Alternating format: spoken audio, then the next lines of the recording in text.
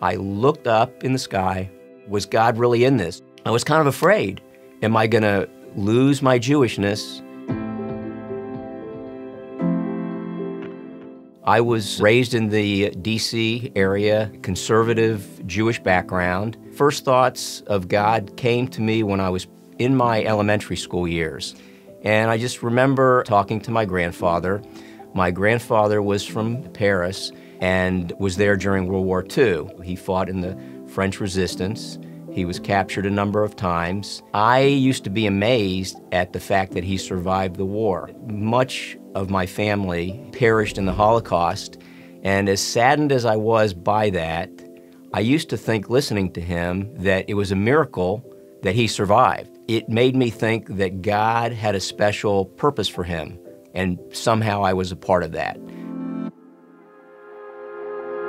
I went off to college. I just was very directionless, smoking pot, hanging out with people that really weren't helpful to my soul. What was the purpose of life? What was the meaning of life? I had a bad experience at one party. I was uh, very drunk. And I felt like I was going to die from the drinking.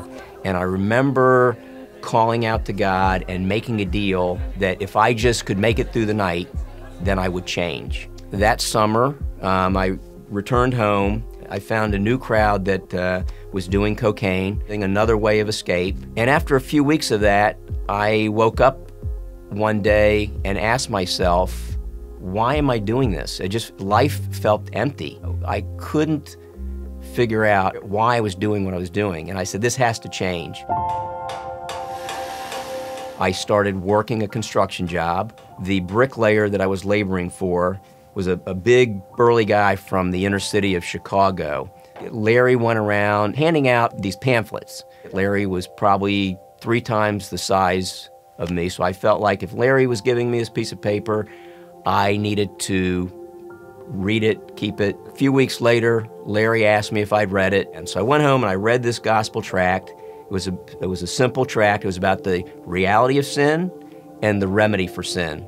That seemed pretty simple. But, you know, as I read those couple pages, I didn't understand it.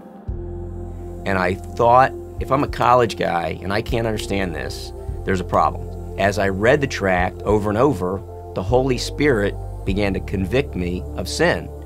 And one day the light bulb came on that I was a sinner and I needed this atonement. I needed this Savior, this atonement that the tract talked about. What didn't make sense was how did my Jewishness fit into this Savior, this Jesus, who was the atonement for my sin? I was kind of afraid. Am I going to lose my Jewishness? So I prayed specifically to the God of Abraham, Isaac, and Jacob. As soon as I prayed that simple prayer, I looked up in the sky and I saw Jesus. I saw Jesus up in the sky. God confirmed to me that the prayer I made was okay, that Jesus was my atonement and the remedy for my sin. When I got home, my dad's apartment, tried to explain what had happened. I just felt like I now had this relationship with God. He just kind of patted me on the back, said, That's great. My stepsister lived in the apartment with me. She was in the room right next to me. When there was an opportunity, my stepsister Carol gave me her Bible, said, Hey, do you want my Bible? And I began to read this Bible every night. I'd go in my room and I'd read the Bible, and I just began to have this relationship with God. From Genesis all the way through the New Covenant, the Word of God leapt off the pages and spoke to me, and my relationship with the Lord grew. I felt like I understood our people in terms of our culture, but in terms of finding meaning and purpose, I knew as a Jew that one needs atonement. I believe the Jewish scriptures tell us that there would be a Messiah that would atone for our sins one day. And I believe that Messiah is Jesus, whose blood atonement, whose death, whose atonement is the covering for my sins.